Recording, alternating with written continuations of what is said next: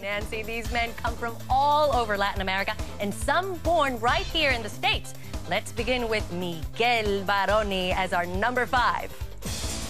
Miguel, mean, jealous, even insecure on the Telemundo hit telenovela La Casa de al Lado. ¿Qué estabas haciendo aquí en esta casa con Gonzalo? But around the set, it's easy to see why everyone, especially the ladies, love him. He's 46 and from Colombia, married 15 years to his co star Catherine. Our Christina McClarty cornered Miguel on the set. And you're kind of a bad boy. Yeah. Ladies' man. Yeah. But married Yeah.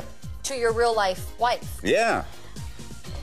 this sounds like a soap opera. Yes, your, yes. Your real life sounds And, like and she uh, and my wife in the novela is my lover. His GQ good looks and her CoverGirl beauty make a hot combination, but they manage to leave all the Latin hunk type conversation at the office. Yes, it's, it's work, you know. It's Yeah. our work, and Yeah. uh, that's it. it stops there. Yeah, yeah, yeah. Never uh, comes- yeah.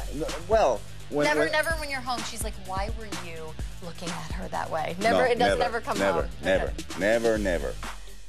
We always uh, use that that thing in, in the other way. Hey, hi. That's a secret. Yes, that's of course, a secret. that's a secret. That's a secret to Yeah. good marriage. Yep.